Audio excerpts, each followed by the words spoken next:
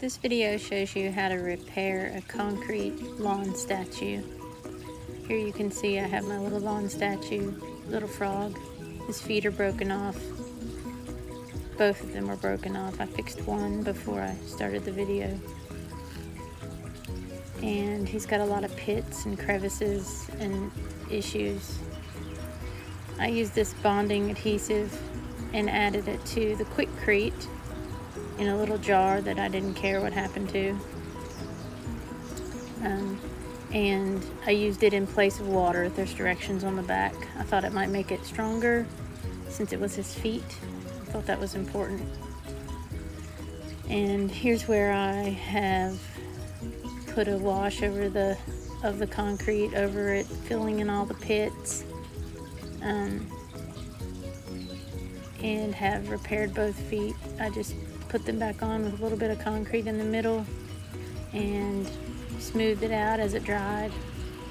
I let it dry overnight like this. He had I had to repair his lip right here.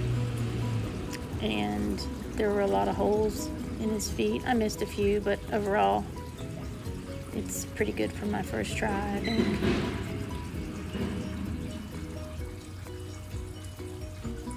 And then uh, I took this uh, latex exterior paint.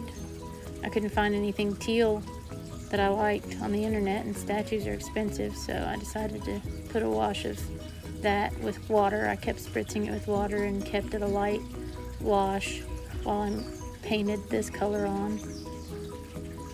And I just went all around him. In some places absorbed better than others,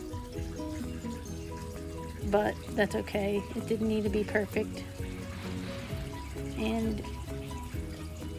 here you see me